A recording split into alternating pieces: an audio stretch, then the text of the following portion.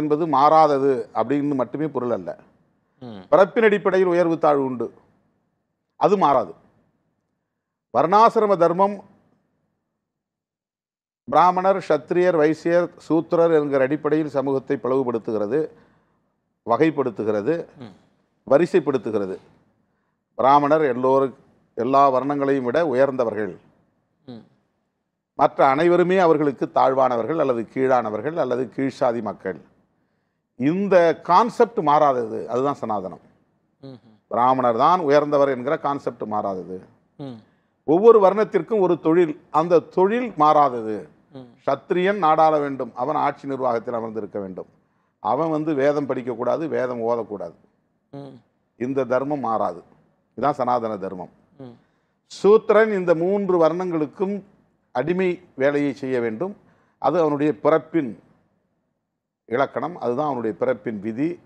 அதிலிருந்து அவன் மாறக்கூடாது. அவனுக்கு கல்வி இல்லை அதிகாரம் இல்லை நிலம் இல்லை. இந்த சனாதன தர்மத்தை வர்ணாசிரம தர்மம் என்று அவர்கள் சொல்லுகிறார்கள்.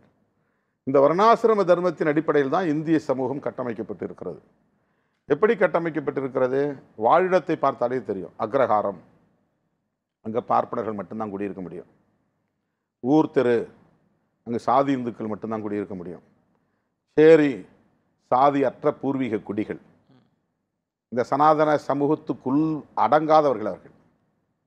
இந்த வர்ணாசிரம தர்மத்துக்குள் அடங்காதவர்கள் அவர்கள். அந்த பிரிவுக்குள்ளே வராதவர்கள். அவர்கள் இந்துக்களும் அல்ல சனாதன தர்மத்திற்கு உட்பட்டவர்களும் அல்ல. அவுட்காஸ்ட் ஆங்கிலத்தில். எக்ஸ்டீரியர் காஸ்ட் இதெல்லாம் வந்து அவர்களே வரையறுத்திருக்கிற விதிமுறைகளில் சொல்லப்படுகிற தகவல்கள். அவங்கள தான் ஷெட்யூல் காஸ்ட் ஷெட்யூல் ட்ரைப்ஸ்னு சொல்கிறாங்க அவங்க வந்து இந்துஸ்குள்ளே வரமாட்டாங்க.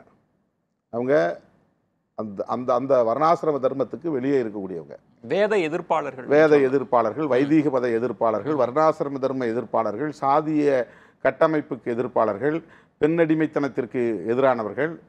இதை இப்படி எப்படி வேணாலும் அவங்கள சொல்லிக்கலாம். அவங்க எனக்கு ஒரே ஒரு கேள்வி. நீங்க ஒரு கோட்பாடு அளவுல சொல்றீங்க. ஆனா இன்னைக்கு சோஷியல் இன்ஜினியரிங் அப்படின்ற கான்செப்ட்லாம் வந்த பிறகு அதுதான் மோடி அமித்ஷா ஜோடிக்கு வந்து மிகப்பெரிய வெற்றியை தருகிற போது நீங்க சாதி எதிர்ப்பு சனாதன எதிர்ப்பை வச்சுட்டு அரசியல் வெற்றியை பெற முடியும்? மோடி மோடி அமித்ஷா ரெண்டு பேரும் அவங்களுக்குன்னு வந்து ஓன் ப்ரோக்ராம் எதுவுமே கிடையாது. மோடி அமித்ஷா வந்து ஏற்கனவே வரையறுக்கப்பட்ட ஒரு செயல் திட்டத்தை நடைமுறைப்படுத்துகிற சக்திகள் அவங்க அவ்வளோதான் அதுவும் பொலிட்டிக்கல் பிளாட்ஃபார்மில் அதை நடைமுறைப்படுத்துகிறாங்க. அவங்க டூல்ஸ் தான். மோடி அண்ட் அமித்ஷா வந்து டூல்ஸ் அவங்க கருவிகள். அவங்களுக்கு வந்து சனாதன தர்மத்தை வரையறுக்கிறதுக்கெலாம் அதெல்லாம் ஒன்றும் அவங்களுக்கு தெரியாது. யார் பிளான் பண்ணுறாங்கிறது அவங்களுக்கு தெரியாது.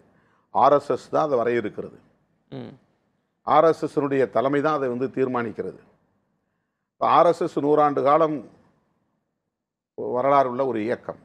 இப்போ அவங்க வந்து ஒரு செயல் திட்டத்தை வச்சுருக்கிறாங்க. என்ன செயல் திட்டம்னா ரொம்ப முக்கியமான செயல் திட்டம். இந்த பழைய சோஷியல் ஆர்டர் சமூக கட்டமைப்பு சிதையக்கூடாது.